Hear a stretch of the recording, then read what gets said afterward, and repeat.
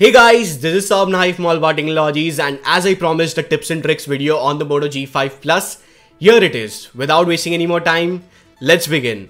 Most of the features can be found in the Moto app itself, so all you need to do is just enable them. One button navigation which was first introduced with the Z2 Plus, which I absolutely loved it, has finally made its appearance on the Moto devices.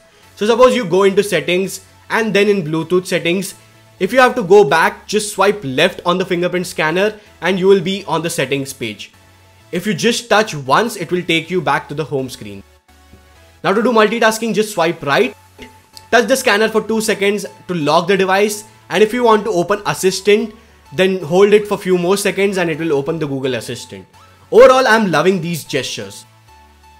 Now to quickly take a picture, just twist your wrist and you will never miss a moment. In case of emergency or need, you can chop twice to turn on flashlight and follow the same to turn off. Pick up to stop ringing and flip for DND is self-explanatory, so you can enable them from Moto app itself. In Moto app, there is one more option for display. So as you know, there is no LED notification light on the Moto G5 Plus. So if you want to see notifications on lock screen, you will have to enable this option. And that's not all, you can customize it too. Like you can block few applications for which you don't want to see notification. Also, you can control how much details you want on the lock screen. As at times our friends or family members can take our phones and you, if you don't really want to show them your personal messages or photos, then you can change the settings.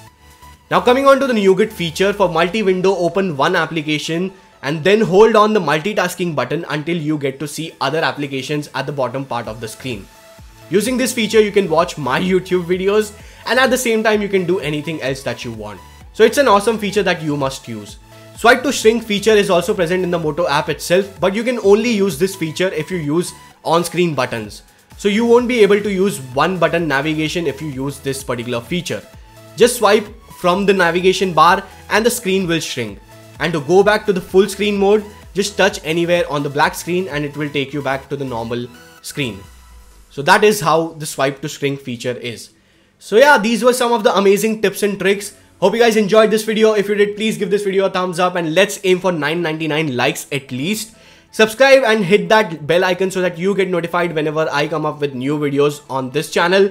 Also make sure you follow me on all my social media networks to stay updated related to tech or to see behind the scenes stuff and some fun.